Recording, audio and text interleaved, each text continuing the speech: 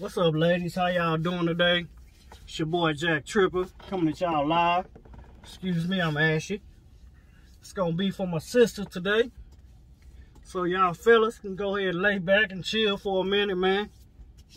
Talk to the little sisters who who follow me, man. Seeing a lot of uh seeing a lot of a lot of videos y'all getting punked out there by these white girls, man. I don't know what's going on, man. Wheels in in high school, my uh my little sahibs, you know what I'm saying, my little homegirls. They used to smash them girls' head in the ground, man. Like the worst butt whipping I ever seen in my life came from a female, not from a not from a dude. Uh, Caucasian versus a black girl. She was, I guess y'all be getting little spats and stuff, and like you know how one girl say something and the other girl say something else? Well, like, black girls didn't play that in my hood. It was like, you're, you're the enemy. And like, like into the concrete, like crazy, right? But I'm seeing new videos every day on TikTok. Y'all getting punked. I said this in another video, but I need to reiterate. A lot of these ugly white women are leaning into you, entering your space on purpose. Y'all don't have to listen to me. Listen to the motherfuckers on the, excuse my language, on the animal kingdom. When it's a mock charge. It's it's basic 101. They trying to punk you. You need to extend your arm towards their neck area. You don't got to do nothing with it. I didn't say you got to do nothing with it. I would hope. I would hope that you would do something with it. You, hey, but you don't have to make me happy. Shit. Uh, but in the interest of, of self-defense, seriously, stick your hand out towards that neck area. That works good with the Caucasian persuasion don't let these people in your physical space, man. Uh, when you let them in your physical space, here's the thing. When places get gentrified, you'll see one white person show up first, right? What happens after that? One white person, Captain Cook or whoever, showed up to Hawaii. What happened after that? Uh, freaking one white person showed up to Africa. What happened after that? Man, you gotta keep keep these people keep these carrots out your out your space, man. It ain't worth it, man. At the least you can do is extend your flat palm towards their neck. It will stop them. If they grab your hand, you have your other fist balled up, ready to come right behind it. I swear, if y'all need some boxing classes or or tasers or anything, I will send you a taser. Just send me an address. I don't have to have your personal address. Send it to your homeboy or homegirl or uncle. I'll send you a taser. Just like shoot me $20 as a down payment and just pay me whenever you can. I'm tired of seeing black women getting punked like this on video. I even seen it for a, a white girl. White girls jumping on. You got ugly white girls jumping on halfway decent looking white girls. It's crazy out here. And they all look the same. And white, it's just white women, white women, white women just antagonizing and physically trying to uh, reproach everybody. I almost got into one this morning. A couple of weeks ago, I'm crossing the street. The chick uh do like that when I'm walking across the street. But I really, I got the thing in my pocket, but I'm really more concerned with uh the traffic coming across the street. I go to the hotel, tall white woman. She okay looking, but she with her man, her man back is facing me. She give me the death stare, like I did something to her. I'm literally walking to my room, in my room. White women have gone wild. This came from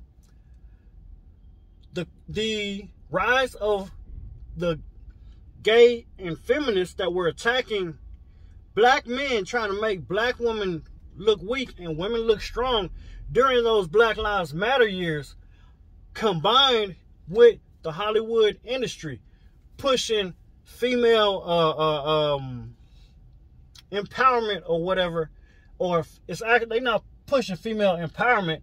If they want a female empowerment, a rape kit wouldn't cost fifteen hundred dollars. But they pushing female masculinity. I watch movie recaps, right? Every movie, it's it's a hundred pound white woman just saving the world, kicking butt, da da da. For 20 years, I asked myself this one question. For 20 years, I asked myself, Stanley, why are these mother suckers keep recycling these uh, elderly masculine action heroes? Denzel, uh, uh, uh, Sylvester Stallone, Terminator. For a while, it was none but those three, and maybe somebody else. The Rock, he the most masculine guy out there. They put him in freaking Moana and all kind of weird movies don't even make no sense.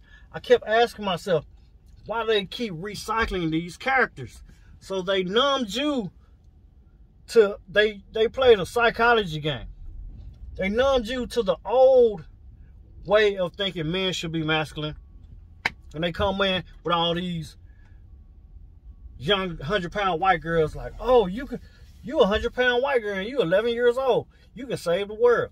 Come on, man. Look, man, don't fall for it, man. I love y'all sisters. Uh, man, shh, God, even the white girls going through it, man. It's just Karen crazy out here. And I don't like the term Karen, but it, it'll suffice for now. But they trying to make it cute. They trying to make it like uh black men and black women, we've been dealing with this Karen thing for a hundred years. And now, once they seen men was weak, so what they did was they sick their husbands on us first. And they see ninjas didn't respond. They're like, oh, I can get them too. I can get them too. Black, black women, I'm going to be honest with you.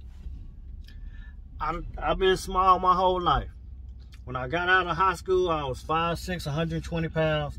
When I got out the army, I was 5'6", 150. I ain't never been no big dude, but I've been fighting big dudes my whole life. My specialty is getting a mother sucker off me, man. That's my specialty in life. God made me the runt of the litter, and my specialty is getting somebody up off me. But the th here's the thing about me. I always start below the pack. Don't matter what job I'm in, what I'm doing.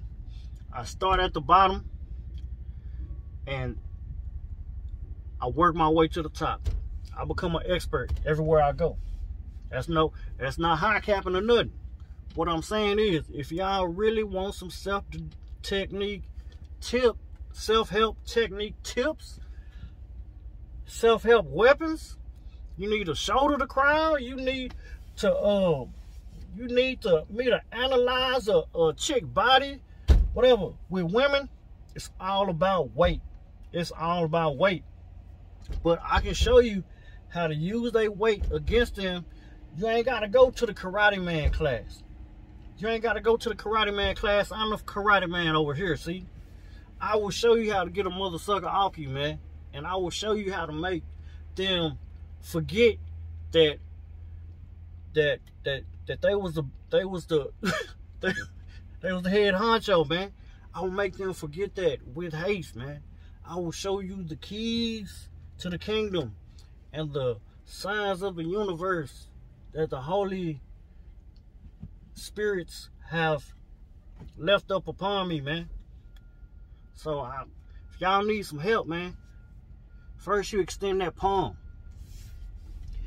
Then you reach back and you pull out whatever you got in your pocket. And you lay into that mother like it ain't no tomorrow. You just a, a beautiful woman trying to enjoy your day in the sunshine. Don't let them play you. Wish y'all the best. Pray for peace. Prepare for war.